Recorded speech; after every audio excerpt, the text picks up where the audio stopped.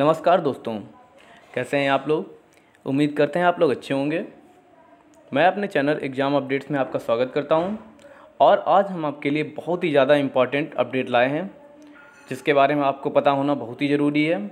तो ये अपडेट जो है, वो इंडियन पोस्ट ऑफ़िस के बारे में है, जिसमें कि एक लाख से ज़्यादा नई भर्ती जारी हुई हैं। अधिनिश सूचना जारी हुई है, जिसमें ये बताया गया है कि एक लाख से ज़्यादा नई भर्तियाँ इसमें होंगी। और इसमें जो पद होंगे, वो पोस्टमैन, मेल गार्ड एम के पद होंगे। तो इसमें जो चयन प्रक्रिया रहेगी, सिलेक्शन की प्रोसेस, योग्यता क्या होनी चाहिए, उम्र क्या होनी चाहिए, हम आपको इसमें पूरी जानकारी प्रोवाइड कराएँगे। और साथ में ये भी बताएँगे कि जो पेपर होगा, उसमें कौन कौन से सब्जेक्ट पूछे जाएँगे। तो अगर आप इस चैनल पर नए हैं तो प्लीज़ सब्सक्राइब कर लीजिए जिससे आगे आने वाली अपडेट आप तक पहुँच जाए। तो चलिए वीडियो शुरू करते हैं। देखिए, अगर बात करें पोस्टमैन की, अगर पोस्टमैन की योग्यता देखी जाएगी तो वो देखी जाएगी बारहवीं बारहवीं पास देखी जाएगी। ठीक है? मतलब अगर आप पोस्टमैन के पद पे अप्लाई करना चाहते हैं तो आपको बारहवीं प्लस होना चाहिए पास होना चाहिए क्वालिफाई होना चाहिए। और साथ साथ में आपके पास कंप्यूटर का भी नॉलेज होना चाहिए। ठीक है? कंप्यूटर का भी नॉलेज पूछा जाएगा। और इसमें जो एज की लिमिट रहेगी, जो एज लिमिट रहेगी, वो रहेगी आपकी अठारह से सत्ताईस। ठीक है? और जैसे कि जनरल में ये होती है अट्ठारह से सत्ताईस और जो एज का रिलैक्सेशन रहेगा एस टी है एस सी है, इन कैटेगरी में आप जानते हैं, तीन से पाँच साल तक का एज रिलैक्सेशन होता है तो उन्हें ये एज की जो रिलैक्सेशन की सुविधा है, ये मिल जाती है। तो अगर, अब इसमें हम बात करें एमटीएस के पद पे।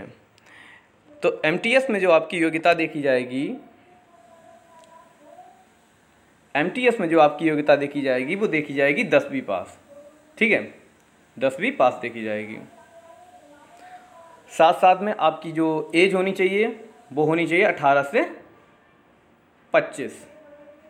आप ये देख सकते हैं कि पोस्टमैन जो एज थी, उसमें अठारह से सत्ताईस थी और इसमें एज जो देखी जाएगी, वो आपकी होनी चाहिए अठारह से पच्चीस। और साथ में आपके पास, जैसा कि आप जानते हैं, कंप्यूटर का भी नॉलेज होना चाहिए प्लस जो कि आपके लिए अनिवार्य है।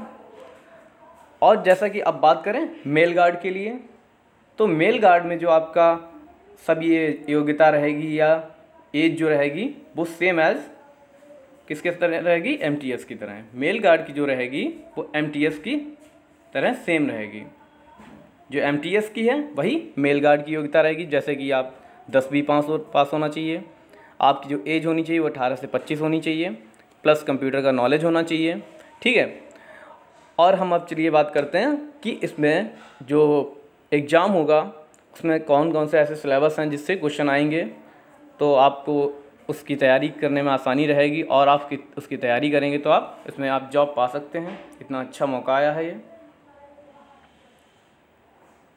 देखिए, अगर सब्जेक्ट की बात की जाए, अगर सब्जेक्ट की बात की जाए तो इसमें देखो, एक होगा इंग्लिश इंग्लिश से पूछी जाएगी। ठीक? दूसरा मैथ्स मैथ्स क्वेश्चन होंगे। और आपसे रीजनिंग भी पूछी जाएगी। साथ साथ में जी के भी। ठीक है? जैसा कि आप ये देख सकते हैं कि इसमें सब्जेक्ट पूछे जाएँ इंग्लिश मैथ्स रीजनिंग और जी के ये चार सब्जेक्ट हैं जिनकी आप अच्छे तरीके से इससे पढ़ाई करिए, क्योंकि इसी से रिलेटेड सब क्वेश्चन पूछे जाएँगे। और उम्मीद करते हैं आपको वीडियो अच्छा लगा होगा। अगर अच्छा लगा है तो प्लीज़ लाइक करिए सब्सक्राइब करिए और सब्सक्राइब इसलिए ज़रूर कर लीजिए कि आगे आने वाली जो अपडेट है नोटिफिकेशन है, हम आप तक पहुँचा सकें और आपको जल्द से जल्द मिल सकें। धन्यवाद।